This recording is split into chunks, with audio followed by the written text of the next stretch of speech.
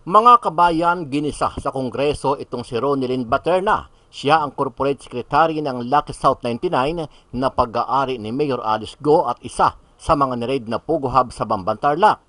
Sa ginawang pagdinig sa Kamara kahapon, ikinagalit at napikon ang mga congressman matapos hindi magsabi ng totoo. Itong si Ronilyn kaugnay sa mga dokumento na kanyang pinipirmahan.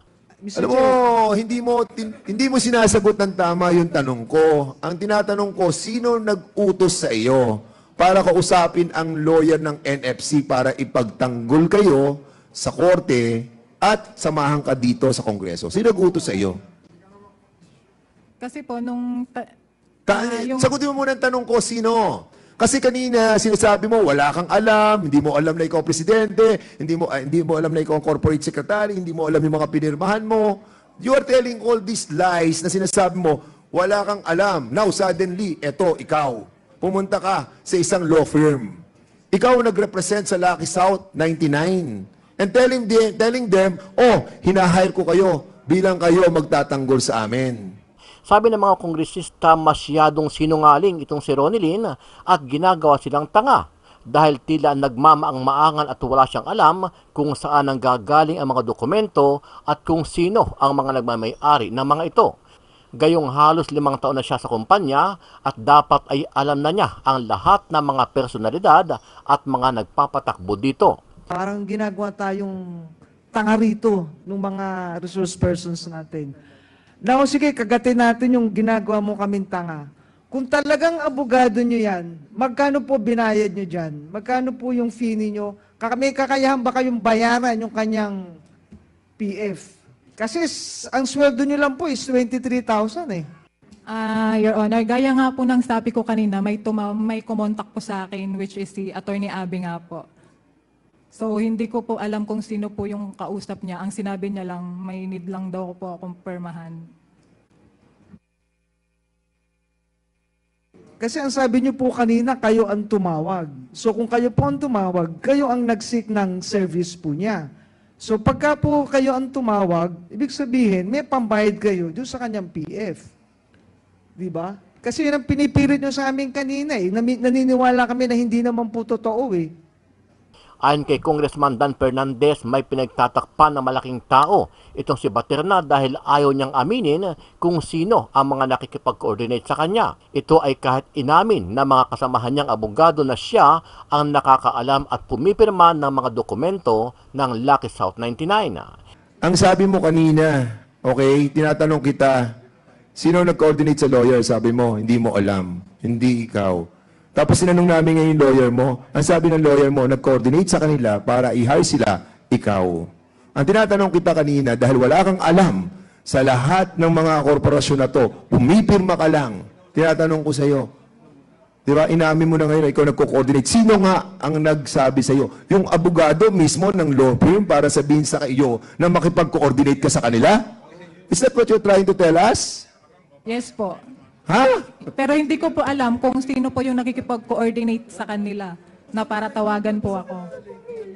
Dahil walang mapiga ang mga congressman at hindi mapaamin itong si Baterna, nagdesisyon na ang mga congressman sa pangunguna ni Congressman Acop at Congressman Dan Fernandez na ipasight in contempt itong si Ronilyn at ikukulong ito sa Senado sa loob ng 30 araw o isang buwan.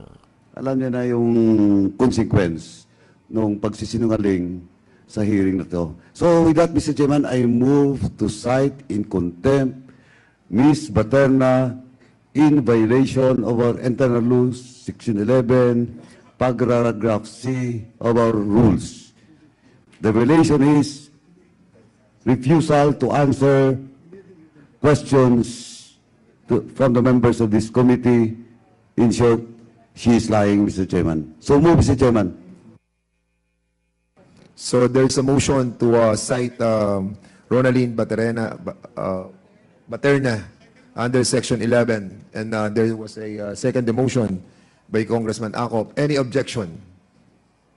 Hearing no objection, uh, Ronaldine Baterna is uh, hereby uh, cited in contempt. Ano ang masasabi mo dito kabayan?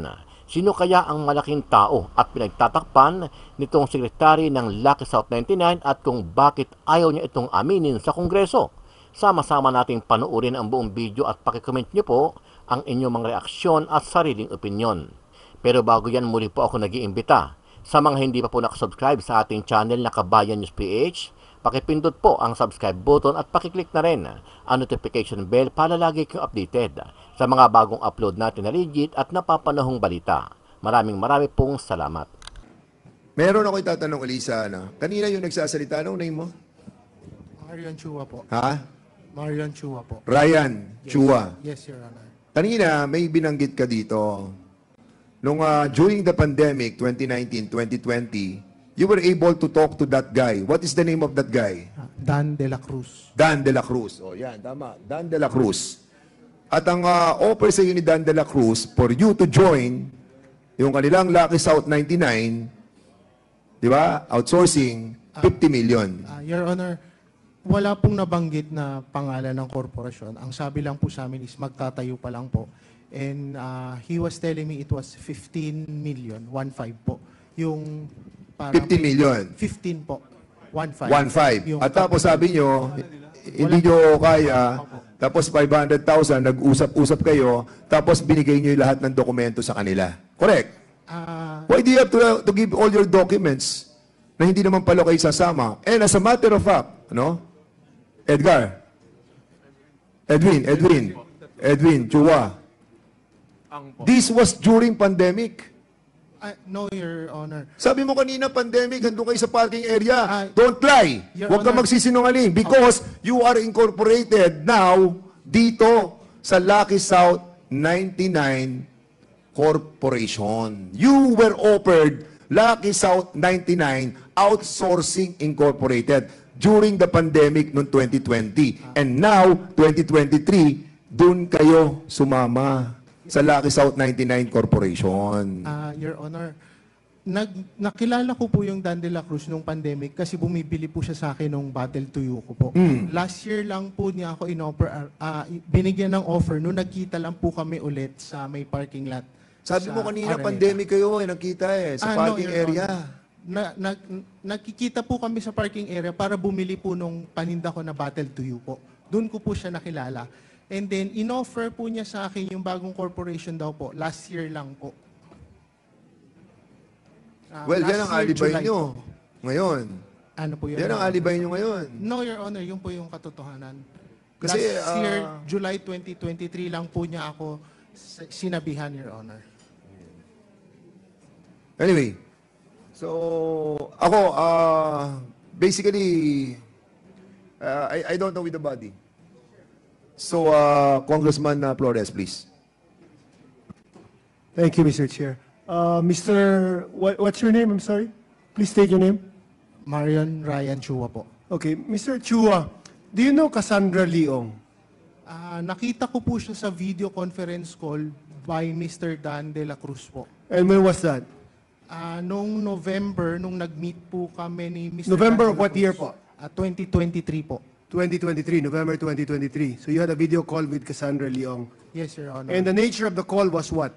Ah, doon po inintroduce sa amin ni Mr. Dan De La Cruz na si Miss Ka Cassie Ong po ang boss niya. And doon po sinabi niya na ah, magtatayo nga ng korporasyon.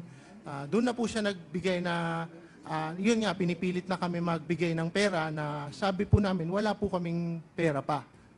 Well, uh, but you're not personally uh, friends with uh, Cassandra Leong. No, Your Honor. First time lang po namin nakita siya via video conference call using Mr. Dan De La Cruz mobile phone po. Was that the only conference call that you had with Cassandra Leong? Yes, Your Honor. Was that the only conference call that you had with any other officers of South uh, Lucky South 99? Ah, with Miss Cassandra Ong lang po. That's the only time. That's the only time. Yes, Your Honor. How Honor. about meetings with other persons connected with South Lucky South 99? No, Your Honor. N- Yung sa nothing, parking lot, ano yan? Ah, kay Mr. Dan De La Cruz po. And who, how is he related with Lucky South 99? We, ay, hindi ko po alam, Your Honor. So he just brings up to you the idea of Lucky South 99 or of uh, forming a corporation without you knowing that he was part of Lucky South 99. Is that correct? Ah, Your Honor, ang sabi lang po niya sa akin is new corporation po. Wala pong nabanggit na Lucky South 99 or any name of corporation. Okay, now let me ask Pao. Sir, what information do you have about the knowledge of these persons as far as the Lucky South 99 Corporation is concerned? Uh, as far as the Philippine incorporators are concerned, we are fairly convinced that they knew what they were entering into. Sir, look at it, Congressman. Uh, uh, Lee was able to establish a mansion worth 2.5 billion pesos. And here is someone peddling a story that Cassie Lee was trying to uh, uh, entice them to invest for 15 million. Lee could easily afford 15 million, just like that. We don't buy the story, we will charge them po. Mr. Chair, may I interject uh, in relation to this? Go ahead po, sir. Ah, okay. Ah, oh, okay lang yun. May busy. Anyway, uh, I'd like to ask Miss Paterna, no? Ikaw ang corporate secretary. You were the ones that filed the filed the incorporation papers, di ba?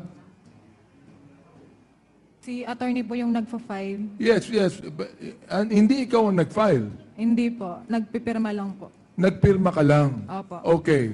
Who told you to sign? Sa law firm po ng attorney. So therefore, it is the law firm that told you to sign. Yes po. Tumatawag po sila pag may mga kailangan po. ako And i-sign. you do not know who the owners of the corporation is. Hindi po. Now, let me, uh, go- p- pwede magtanong ulit. Uh, let me ask, uh, Attorney Roque, you are the lawyer of Whirlwind, uh, Yes, right? Your Honor. Okay. For the ejectment case. For the ejectment case. Yes, Your Honor. So you, you, you do not even know this lucky corporation here. Wala po. No contact whatsoever. Kaya nga po, vehement ang denial ko. Kahit anong anino, wala po ako nakita. Itong mga naririto po, hindi ko po sila kakilala. No? Kaya nga po, ang kakilala ko lang is yung whirlwind. No? At ah, yun naman po ang ah, dokumentado na talagang umapir ako sa hukuman. hindi po talaga madidinayan at ah, nakipagbalitaktakan ako sa ngalan po ng whirlwind. Hindi ba sa inyo nagkwento ni Cassandra na mayroong lucky, uh, lucky South 99 Corporation? Ang sinabi niyo po, eh, yan Sinabi yung, niya. Yan yung umuupa sa kanila. At ang palaging, well, I do not know if this is divulging already too much po for attorney-client, no? Ang palaging issue namin is, is it worth defending the ejectment? Kasi kapag natanggal sila sa posisyon, wala na rin yung premises sa kanila. So parang, para kay pa, no? Wala namang ibang uupa dyan. Kung Uh, hindi Attorney po- Roque, uh, ito, uh, uh, let, let me say this, no, ha? Uh, the Whirlwind Company is a real estate company. Yes po, opo, Mr. Chair. Okay, and they were the ones that actually bought the property from Mr. Cruz. Am I right? Yung building po sila nag-construct and they bought a Okay. portion. And I think that you know that uh, the Whirlwind Company, who also owns the Lucky South 99 Corporation, who also is connected with the Lucky South 99 Outsourcing Corporation, you would know that this is actually a POGO hub that they would be constructing. Hindi ko po alam na sila may-ari ng Lucky South. Ang alam ko lang po, tinayo nila itong facility ito at pinapaupahan nga po sa Pogo, Lucky South. Uh, thank you. Go ahead. Uh, Apo. Thank you, Mr. Okay, so uh, thank you so much, uh, Congressman Chairman uh, Abante. Now, uh, Congressman Flores is uh, recognized. Thank you, Mr. Chair. Mr. Chua, are you a businessman, sir? Ah, no, Your Honor. Namamasukan lang po sa private. company. You're just an employee. Yes, Your Honor. Uh, is that the same with your two other companions? Can they please state for the record whether they're Yes business? po. You are? Uh, Edwin po. You are employed or Employed lang po. employed? How about you, sir? Mr. Chair, uh, employed lang din po. Okay, now, have you at any point in time met uh, the other uh, officer of the corporation, the Miss uh, I've- Baterna? No po. Wala Never? po kaming kilala sa mga Lucky South. Ano po? Hindi kayo nagkita ever since? No po. So this is the first time that you've seen her? Yes po. Sa Okay. sen- second po, sa Senate po kasi na... Ah, okay. na- So when was the first time you heard about your names being incorporators of Lucky South 99? Uh, Mr. Chair, uh, nung pong June 26 po kasi, yun nga po yung kanina sinabi ko, June 26 of what year? 2024 po, ah, na may nag-message po sa akin na nasa news daw po yung pangalan ko. Tapos, ah, yun nga po, na, sab, ah, nakita po, nag-search po yung wife ko sa Google, saka doon sa Facebook, na andun nga po yung pangalan ko. Nabanggit din po yung pangalan ni ni Edwin at ni ah, Marion na na part daw po kami ng ah, Lucky South 99. So all of this time, wala kayong like notices that you received from any communication, from any government office or agency for that matter, uh, relating to Lucky South 99 Ah, first time po namin makareceive yun sa Senate po. sa Senate? Opo.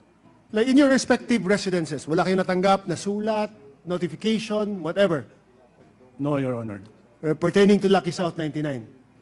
Wala po, Your Honor. So when you found out in June of 2024, sabi nyo, na involved kayo sa Lucky South 99, when did you decide to file a case against the incorporators of Lucky South 99? Ah, nung pong ah, nag-inquire po kami sa SEC para po mak- ayun po yung advice ng lawyer na mag-inquire kami sa SEC para po makita yung ah, kung sino po yung mga incorporator and ah, officers po ng Lucky South. So nag-request po kami ng dokumento sa SEC. Then ah, right after po noon, ah, nag-file na po kami. Nag-file po kami noong July 10, 2024. Okay, so prior to that, were you, were you, were any of you required to submit copies of your licenses, IDs, or any other forms of identification, uh, which usually are attached to the articles of incorporation? Wala po, Your Honor. Wala. Wala po. Team numbers. Ah, doon po sa dokumento po nakuha namin sa SEC, andun po yung ah, TIN number namin doon sa certificate, ah, director certificate na sinubmit nila, na which is forged po lahat yung pirma namin. But the Tapos- team numbers are correct naman. Correct po yung TIN number, pero po yung issuance nakalagay po doon Angeles City, which is hindi naman po ang yun ang issuance ng TIN number namin. Okay. Ms. Baterna, have you ever seen any of the three uh, other incorporators of uh, Lucky South 99? Hindi po. Hindi Ne- po sila kilala. Never mo yung nakilala? Never po. Never were you present in any meeting where all the three of them were also present? Never po. Never. Ikaw lang yung uh, nasa office palagi. Opo. Ah, ikaw lang yung nakaka nauutusan ng ah, mga persons running Lucky South 99. Yes po. And you never got a call, text, message, or anything from any of the three uh, persons involved. Itong mga bisita natin ngayon. Wala po. Ikaw lang. Opo. Okay. Mr. Chair. Thank you. Thank you, thank you. Ah, ah, ano, um, Earlier, sinabi mo na hindi ka gumagawa ng mga resolutions, lahat pinapipirmahan sa'yo. Yes po. Then tinanong din yung paano yung articles of incorporation, being the corporate secretary, sabi mo, ang nagpe-prepare, sino? Ano po yun? So, Sino nagpe-prepare ng mga papel na pinapipirmahan sa'yo? ah, si Attorney Medina po. Attorney Medina. Tapos, hindi, sabi mo kanina rin, narinig namin na tinatawagan ka sa opisina. Tapos para may papipirmahan sa'yo.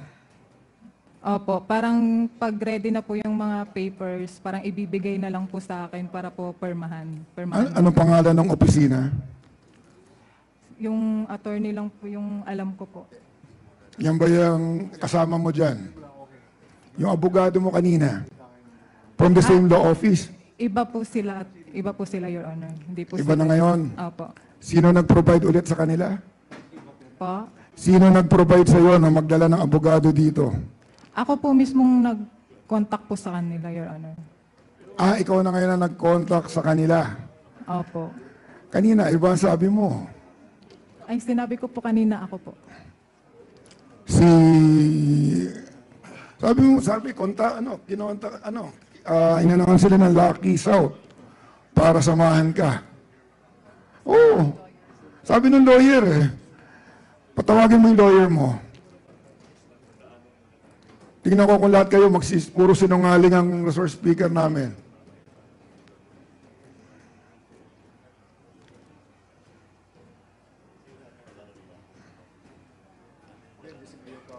Tinanong ko sino nag-engage ng services nila eh. Yep, uh, please identify yourself again, attorney. Good morning, ay good afternoon, Your Honor. I am Attorney Giselle S. Velasco from NFC Miralles Law Office. NS, NFC Miralles, Your Honor. yes. So why are you here? Uh, yeah, uh, Your Honor, I was asked by our law office to accom- to assist Ms. Baterna And who, to assist Ms. Baterna?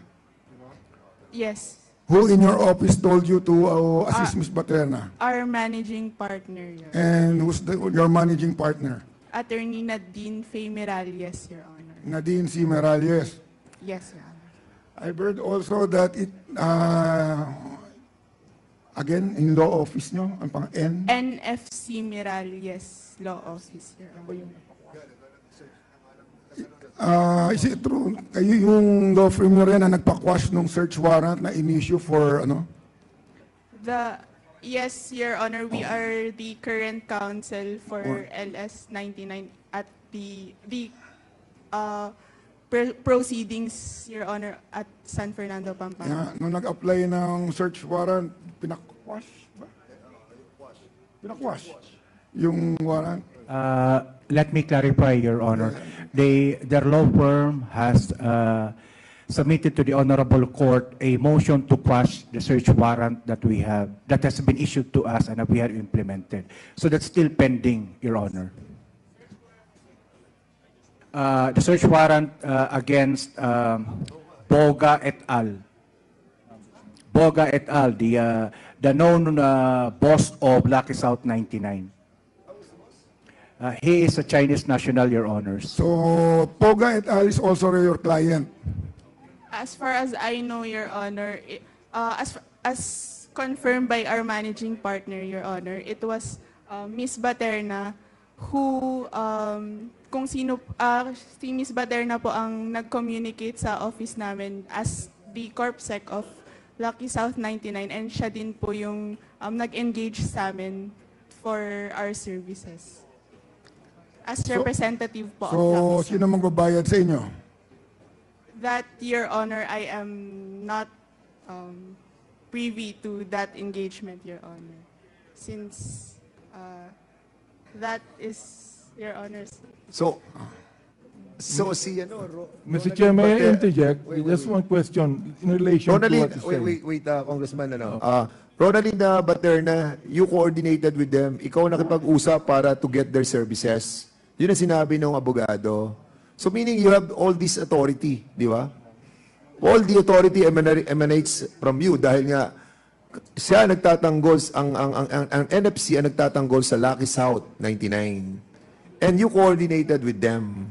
Di ba? Kanina, binanggit mo, ah, wala kang alam lahat. Hindi ikaw nakikipag-coordinate, hindi ka kumakausap sa abogado. But now they're telling us na ikaw ang nag-coordinate. So, dito, kikita na natin yung pagsisinungaling mo. Oh, Mr. Chair. Diba? So ngayon, sino? Sino nag-utos sa iyo para makipag-coordinate sa NFC? Ah, totoo po yung mga sinasabi ko, Your Honor, yung wala po talaga akong alam about dun sa mga pinipirmahan ko. Pero yung sa sa kanila po, ako po talaga yung nag... Ano, Pero kanina sinabi mo hindi ikaw eh, di ba? Mr. Chair, one lang. Yes, wait, wait. Let the chair finish first. So, so hindi hindi hindi hindi mo sinabi kanina na ikaw nag-coordinate. But now sinasabi nila na sila ikaw nakipag-coordinate sa kanila. Di ba? So, now you will uh, agree with me that ikaw talaga nakipag-coordinate sa kanila. And I'm, I'm asking you right now, kung ikaw nakipag-coordinate sa kanila, sino nag-utos sa iyo para makipag-coordinate ka sa abogado na ginagamit ng Lucky South? Sino? ako po. Mr. Alam mo, hindi mo tin- hindi mo sinasagot ng tama yung tanong ko. Ang tinatanong ko, sino nag-utos sa iyo para kausapin ang lawyer ng NFC para ipagtanggol kayo sa korte at samahan ka dito sa Kongreso? Sino nag-utos sa iyo? Kasi po, nung... ta- Ta- ah, yung- Sagutin mo muna ang tanong ko, sino? Kasi kanina sinasabi mo wala kang alam, hindi mo alam na ikaw presidente, hindi mo ah, hindi mo alam na ikaw ang corporate secretary, hindi mo alam yung mga pinirmahan mo. You are telling all these lies na sinasabi mo, wala kang alam. Now suddenly, eto ikaw. Pumunta ka sa isang law firm. Ikaw ang nag-represent sa Lucky South 99. And telling them, telling them, oh, hinahire ko kayo bilang kayo magtatanggol sa amin. Ngayon, meron ka palang ganitong klaseng authority. Ngayon, ang tanong, sino ang nagsabi sa iyo na kausapin ang law firm na NFC? Ah, yung totoo po niyan, Your Honor, may tumawag po Sino sa akin nga? isang, isang attorney po. Sino? Anong pangalan? Si Attorney Abby po tumawag. Sino Attorney Abe? Anong pangalan niya? Full name? And, ah, Abby lang po yung pagkakaalam kong name. Kasama sa Under- Salaki South 99. And under po ng law nila, ng law firm. Tapos parang tumawag po siya para daw Ang po. tatawag sa iyo ay yung sa law firm para sabihin sa iyo na makipag-coordinate ka sa sarili nilang law firm. Pinagloloko mo kami dito. Hindi po, di ba po ako po yung corporate sec. Okay. Tapos tumawag po si Attorney Abby sa akin. Na Sino parang- tumawag sa iyo? Yung ato- attorney ng law firm. In, opo, attorney po ng law firm. Para? Tapos parang may inaano po siya na may pepermahan daw po ako na about nga daw po sa Lucky South. Hindi, kanina, kanina, Ronaldine Baterna, ang sabi mo, babalikan natin. Ang sabi mo kanina, okay, tinatanong kita, sino nag-coordinate sa lawyer? Sabi mo, hindi mo alam. Hindi ikaw. Tapos sinanong namin ngayon lawyer mo, ang sabi ng lawyer mo, nag-coordinate sa kanila para i-hire sila, ikaw. Ang tinatanong kita kanina, dahil wala kang alam sa lahat ng mga korporasyon na to, pumipirma ka lang.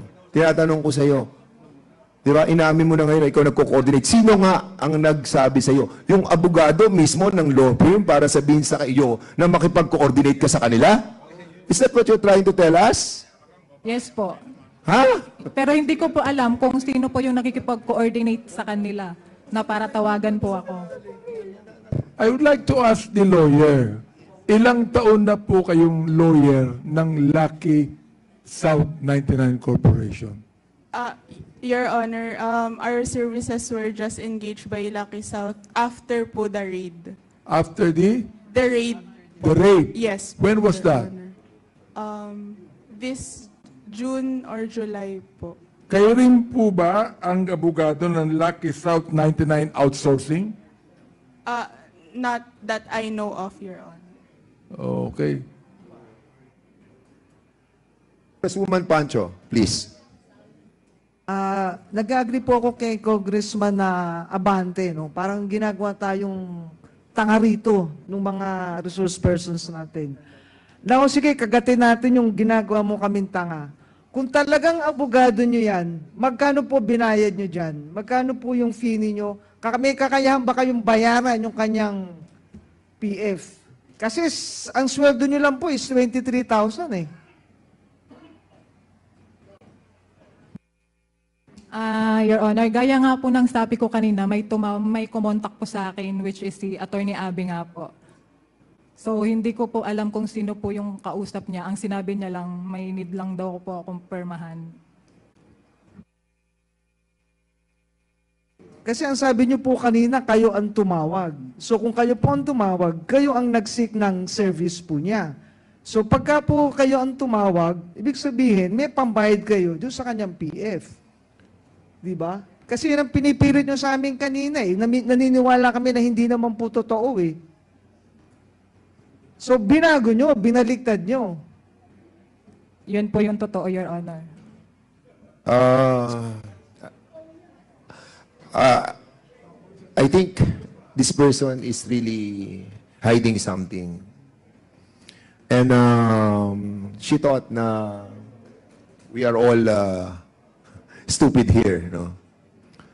So what is the pleasure of the body? Uh, There's a pending motion, Mr. Chair. For her? No, for the uh, incorporators, for the four of them. O sige, what's the, the what's the uh, Now, uh, realizing, Mr. Chair, that these four are mere employees at ginamit lamang sila out of my compassionate heart, I am withdrawing my motion for contempt. For the four. Three, for the three. Di ba kasama si Miss, ano, Miss, si Miss, kasama niya kasi corporate secretary siya eh. For the four. Oo. That's Ah, out wait, of, wait, out wait, of wait. my compassionate heart and your compassionate heart, Mr. Chair. Yes.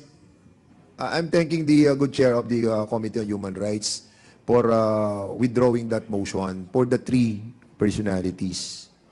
But I think uh, on the next, on, on, on uh, Miss uh, Ronaldine Baterna, ang dami niyang pagsisinungaling eh, kanina pa eh. And uh, she's been in the company since 2019 up to 2024, up to now. And this uh, woman is um, really um, may alam may alam siya eh, but withholding it for herself. Maybe uh, kasi kilala rin niya si Cassandra. Kasi, kasi ang dami niyang kilala doon sa... Well, anyway, I, I, I, I leave it to the, to the body to decide on this. Mr. Chair, May, Mr. Chair, Congressman uh, ako, please. may I know the parliamentary status uh, of the motions? Well, uh, the parliamentary status, there was a motion initially uh, to cite in contempt um, first yung uh, si uh, Ronaldin and then the uh, the three incorporators. Then uh, he withdraw it just a while ago. So now the parliamentary status is that that was already withdrawn. So if we will uh, show compassion to uh, Ronaldin um, uh, Paterna, it's up to the body. So Mr. Chairman. we decide. Yes, uh, Congressman uh, Uh, Mr. Paduano. Chairman, uh, just this morning, I have a motion uh, to contempt uh, Ms. Baterna, but I hold it because uh, we give he- her a chance now to answer truthfully. Well, in fact, I already explained what is contempt. Tinagalog pa natin. So alam niya na. Alam niya na yung consequence ng pagsisinungaling sa hearing na to. So with that, Mr. Chairman, I move to cite in contempt Ms. Baterna in violation of our internal rules, Section 11, paragraph C of our rules. The violation is refusal to answer questions to, from the members of this committee. In short, she is lying, Mr. Chairman. So move, Mr. Chairman. So there's a motion to uh, cite um, Ronaldin Baterna, uh, Baterna under Section 11. And uh, there was a uh, second motion by Congressman Acop. Any objection? Hearing no objection, uh, Ronaldin Baterna is uh, hereby um, cited in contempt. Mr. Chairman. So uh, the penalty, Uh, Congressman Mr. Chairman, uh, I Paduano. give the privilege to Chairman Congressman Acop. If please. you will recognize Chairman Acop. Congressman. With regards to the det- detention. Please. Mr. Chair, uh, may I move that uh, the penalty given to uh, uh, uh, Ms. uh, Ronaldin uh, being cited in contempt uh, uh, for 30 days to be confined doon po sa bago nating custodial center inaugurated at 1.30 this afternoon.